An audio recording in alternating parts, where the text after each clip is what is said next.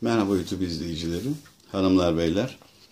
Ee, birinci videomuzda e, karşıda görmüş olduğunuz ilaçlar, ekstratlar ve hemen karşı tarafa koymuş olduğum e, o yazılarla ilgili bilgiler sundum. İkinci bölümde izahata başladım. Şimdi de devam ediyorum. Kaldığım yerden devam ediyorum. E, ikincisinde her nasılsa özel muayene iptal edilmiş. Özel bakmıyor dediler. Biz zaten hastasıyız. Hocayla görüşmek istiyoruz deyince bizimle ilgilenen onkolojiyi yan dal olarak seçmiş olan dahiliye uzmanı bayan doktor bizim görüşmemizi sağladı. Hepsi bu. Belki diğer hastalar hocalarını 3-4 ya da 5 kere görmüşlerdir. Ben kendimden bahsettim. Kemoterapili günler kemoterapili günler başlayınca çile de başladı.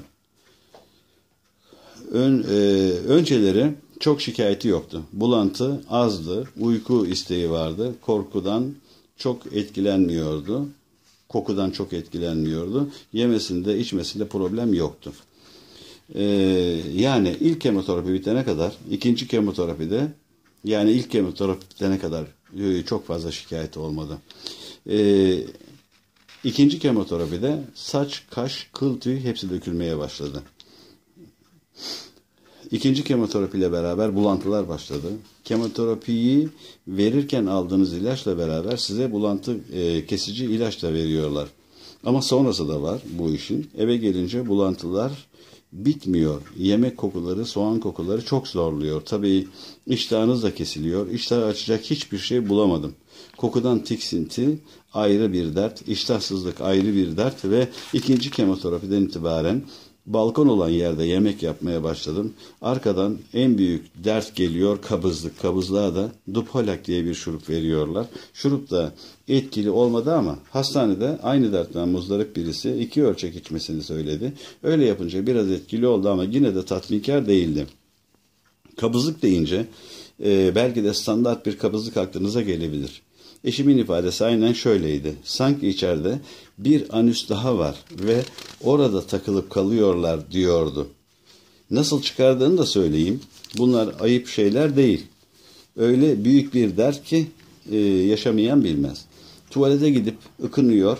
Epey bir ıkındıktan sonra ki bu ıkınmalarında çok büyük enerji harcıyordu.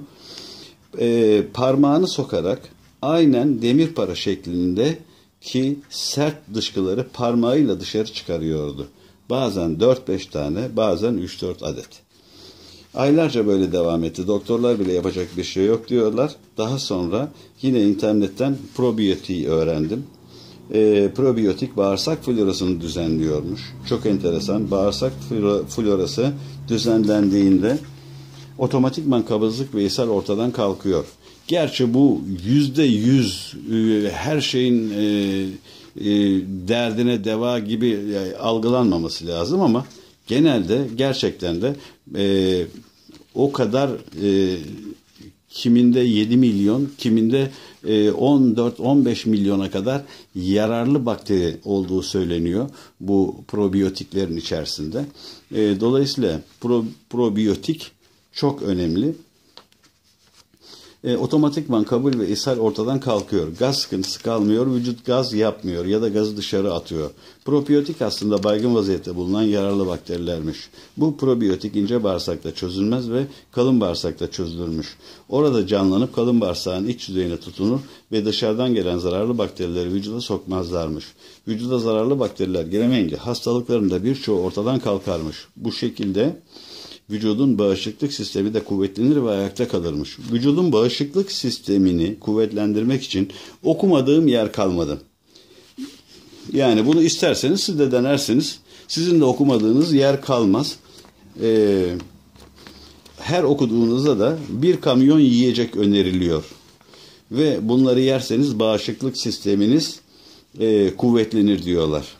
Biz zaten günlük yaşantımızda söylenenleri yiyoruz. Ancak şimdi hastalık var ve bağışıklık sistemini kuvvetlendirmek, en azından ayakta tutmak lazım. İşte buna bir çare bulamazken Mart sonuna doğru probiyotik içirmeye başladım eşime ve kabızlık sorunu için bana ölümüne kadar bir şikayette bulunmadı. Bu arada yine internette kansere yakalanan bir doktorun ilk iş olarak probiyote başladığını ve vücuttan eksilen mineralleri de Beres adlı damlayla karşıladığını yazıyordu. Biz uyumuşuz uyumuşuz Beres diye bir damlayı ta ne zaman öğrendim. Beres damlayı araştırdım. Zaten probiyotiğin de Beres'in de kanserle alakası yok. Biri bağırsak florasını düzenliyor. Dolayısıyla kabızlığı önlüyor. Aynı zamanda da bu turist ishali denen yani yabancı bir yere gittiğiniz zaman yediğiniz dokunursa onu da engelliyor. Yani sadece kabızlık değil bağırsak florasını düzenliyor. Biri bağırsak florasını düzenliyor, dolayısıyla kabızlığı engelliyor. Diğeri de vücutta eksilen mineralleri tamamlıyor. Beres'in 100 sisilik şişesine 100 TL kargo ile beraber 125 TL ödedim.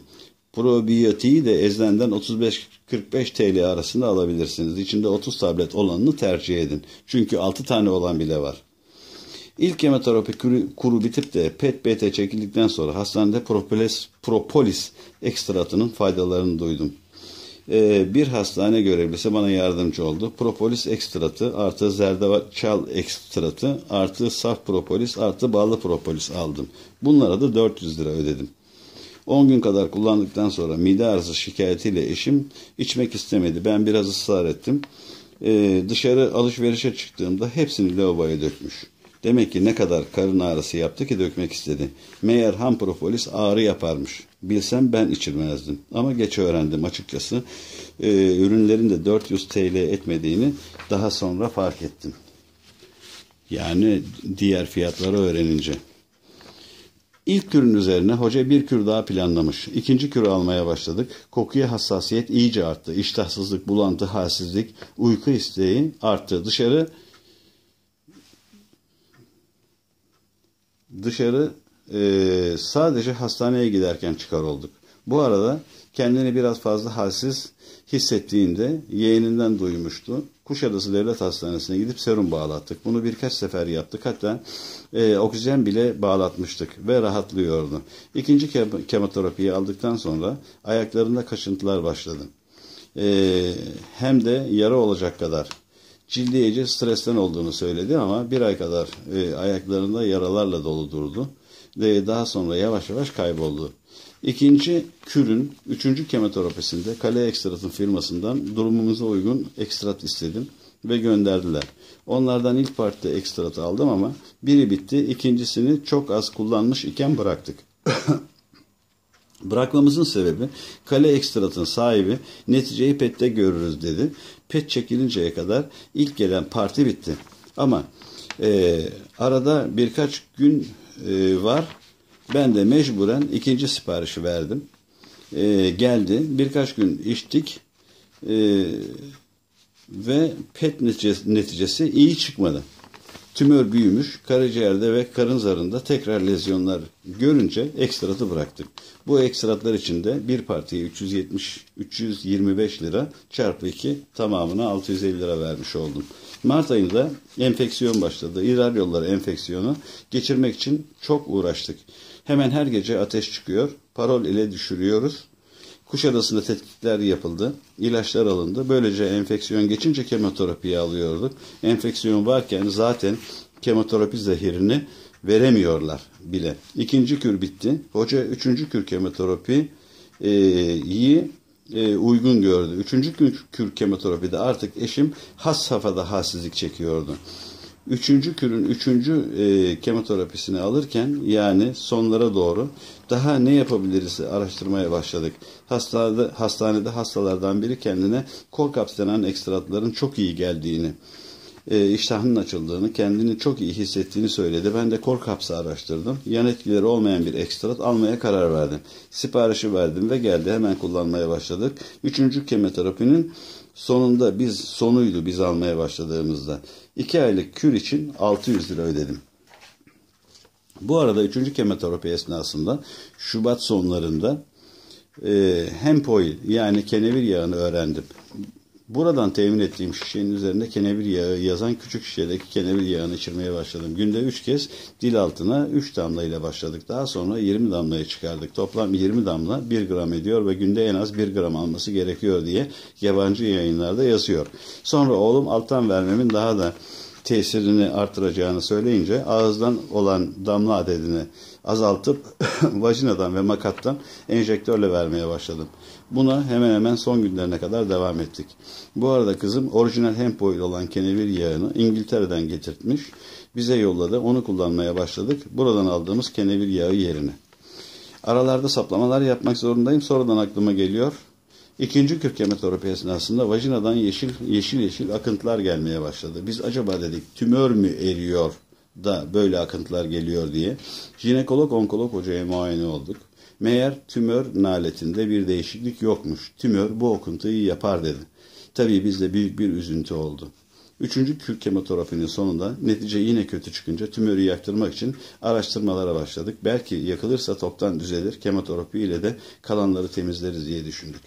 Daha önce kemoterapi aldığı için kemoterapi esnasında hiçbir işlem yapılmıyor. Kemoterapinin neticesine kadar e, bize hastanede bakan uzman doktora anlattık. O da 14 günlük bir kür verelim.